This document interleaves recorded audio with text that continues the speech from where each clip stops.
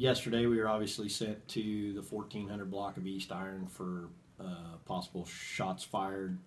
Uh, upon arrival, we um, made contact with a Tyler Reinbold, 22 year old. Um, he had been uh, had two gunshot wounds, one to the abdomen and one to his calf of uh, on his leg.